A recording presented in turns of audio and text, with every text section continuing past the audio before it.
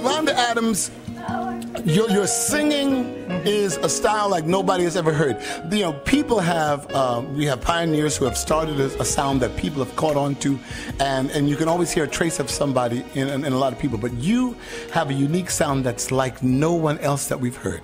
You incorporate your jazz stylings with mm-hmm. your gospel upbringing, mm-hmm. with whatever creativity that you have inside of you. I went and heard your Christmas concert with a 60 piece orchestra, and I'm saying, this girl has got this thing going on. I think I love you. but I'm, um, You're so silly. And whenever Yolanda's in concert, Yolanda is always screaming my name out somewhere. Yeah, I know Donnie's here somewhere. Right. And I'm like, yeah, baby, right here. I'm, um, but oh. we were at the we were at the Grammys, mm-hmm. and you won. We won a Grammy the same year, about 2004, 2004, uh-huh. 2005, and you won for your songwriting. Yes and you jumped up and got to the microphone and said, I'm a songwriter now. I'm a songwriter. and and you have won just about every award there is American Music Awards, I don't know how many Stellar Awards, Soul Train Award, BET Awards, Grammys. And it seems like there's no stopping you. You've got a new single out well, it's not new, but it's a hard playing single. Yes. Called Be Still. Be Still, yes. Who wrote that song? I wrote that song. You wrote that I song. wrote that song. Um, oh, thank you. Thank you so much.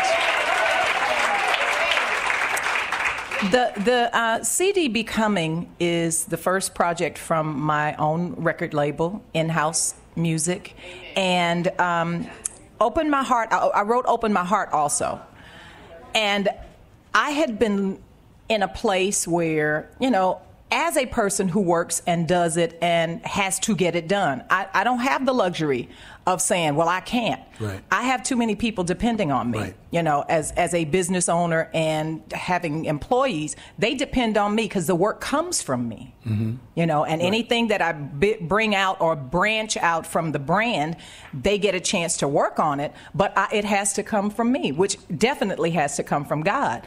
And so, as a helper and a nurturer, I was going to help God do his stuff. And be still was actually the answer to the prayer of I open my heart. Wow. Wow. So because you're asking God, yeah, it's it's like a sequel, and, and it wasn't intentional. Mm-hmm. It was never intentional. But what God does is once you ask Him for something, He gives you exactly what you need. Okay.